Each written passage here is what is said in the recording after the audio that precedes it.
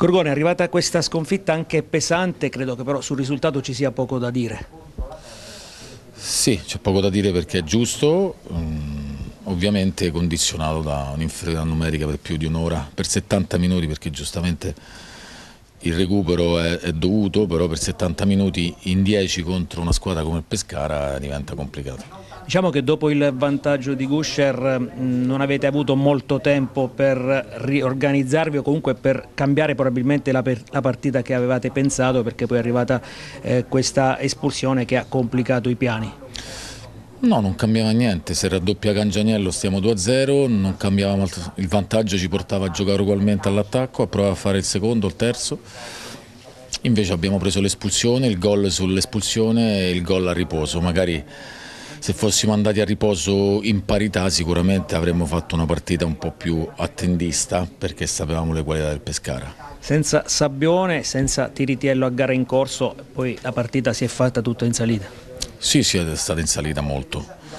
E dobbiamo avere soltanto un po' più di equilibrio quando le, le gare si mettono così in difficoltà, bisogna essere bravi a capire la circostanza perché riprendere la partita sul 3-1 per Pescara in inferiore numerica credo che era era utopistico, quindi in quel caso siamo giovani, perché se abbiamo anche molti giovani in campo, bisogna essere più, più realistici e vedere quello che, che puoi fare in quel momento. Era il Pescara che si aspettava, mi spiego, nelle ultime due partite aveva raccolto un solo punto e non aveva segnato neanche un gol, pensava ad un Pescara un po' in crisi?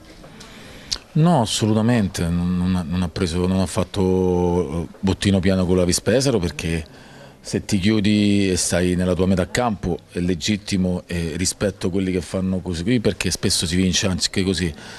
Non, non me l'aspettavo assolutamente, no? mi aspettavo una squadra che venisse qui a giocare come abbiamo fatto noi e quindi ovviamente nel secondo tempo ho visto il Pescara al top con un vantaggio non da poco che era la nostra inferiorità numerica.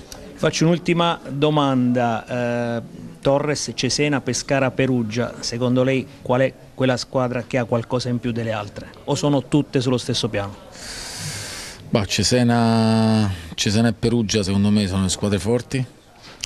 Il Pescara si riesce a, a capire anche i momenti in cui magari le partite vanno chiuse o vanno gestite può rientrare, come può rientrare la Spalla, l'Entella. La Torres è una squadra secondo me forte per la categoria, non è non è un fuoco di paglia assolutamente, però credo che stia un pochino indietro a questo quartetto. Il ricordo di Gorgone della sua esperienza a Pescara? Ma è stata un'esperienza negativa perché era una squadra un pochino in una stagione tribolata. Io arrivai a febbraio, era una squadra che poi è andata un po' in caduta libera, però un ottimo ricordo, una, un, una società seria dirigenti Delicarri, il presidente Sebastiani, il mister Zema. Ho affetto per questa squadra perché mi piace il modo di lavorare, quindi un ottimo ricordo de della città, del tifo del, e della società attuale. Grazie mister, arrivederci, grazie.